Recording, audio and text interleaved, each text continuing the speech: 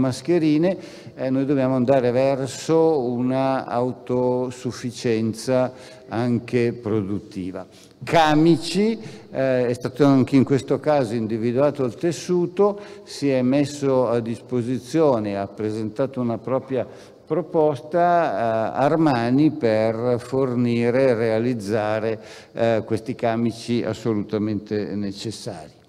Ultimo punto, oggi abbiamo fatto una rapidissima giunta per approvare il provvedimento con il quale il nuovo ospedale della Fiera viene, tra virgolette, dato in gestione al Policlinico, viene accorpato al Policlinico, diventa una sorta di reparto del Policlinico eh, di Milano, sia per, quanto, per, per tutti gli aspetti.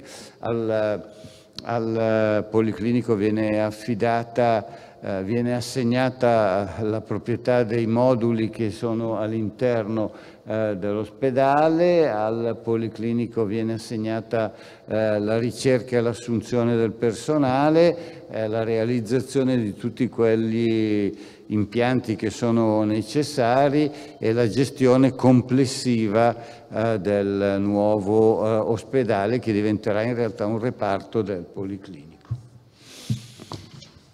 Basta. Ah no, ecco sì, eh, ho avuto un brevissimo colloquio sia col dottor Caiazzo che con il dottor eh, Bertolaso, entrambi hanno, sono in fase sicuramente di miglioramento, stabili nel miglioramento, erano entrambi su di morale, quindi penso che eh, le loro condizioni siano assolutamente sotto controllo e ripeto, in miglioramento.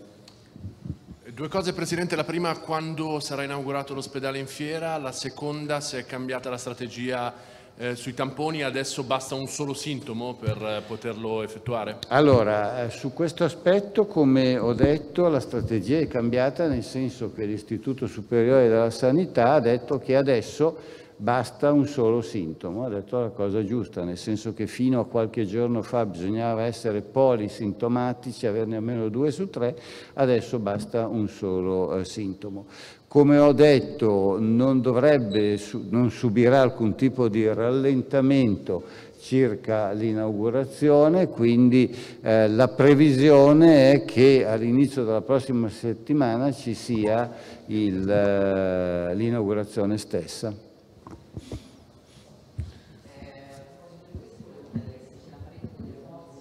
Se ce la farete?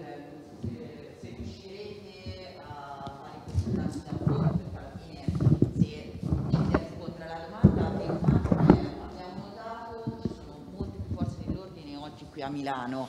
C'è stato un rafforzamento dei controlli? Ah, grazie. Ma sui rafforzamenti dei controlli io ho sempre chiesto che ci fosse, che fossero, eh, sono, sono, scelte del prefetto, evidentemente io purtroppo normalmente non ho alcun tipo di controllo sulle forze di polizia, per cui è, è il prefetto che l'ha fatto. Io ho chiesto fin dal primo momento al prefetto di essere rigido per evitare che ci fossero persone che ancora prendevano alla leggera provvedimento. L'altra domanda, mi scusi, sul... No, no, ma la sento.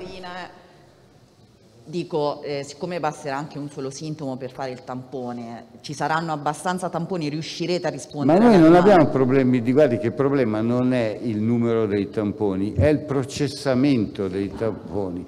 Noi con i nostri laboratori abbiamo detto, ribadiamo e sottolineiamo che siamo arrivati praticamente al limite, noi siamo poco più di 5.000 tamponi al, al, giorno, in quella direzione continuiamo ad andare, ecco, eh, eh, come, come, nel rispetto di quelle che sono le regole a cui facevo riferimento al suo collega, dei sintomatici, che adesso possono essere anche monosintomatici e non plurisintomatici.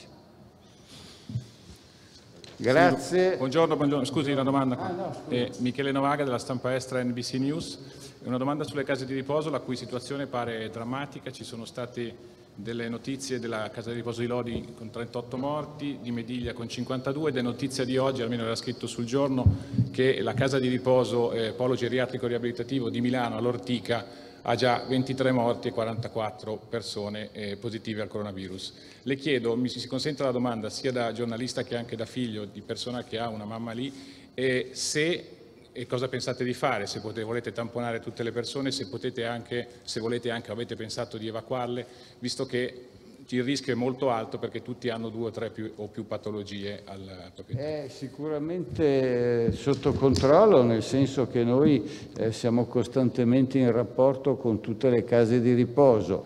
Eh, si fanno delle scelte a secondo delle necessità e si eh, pensa sicuramente di arrivare alla risoluzione della questione eh, individuando le persone che devono essere, eh, che sono pluri, eh, come vi ho detto anche mono portatore di un sintomo e verranno sottoposte a, a tamponamento e verranno eventualmente allontanate. Adesso faremo le valutazioni che dovranno essere eh, distinte casa di riposo per casa di riposo. È sicuramente un problema all'attenzione della nostra direzione.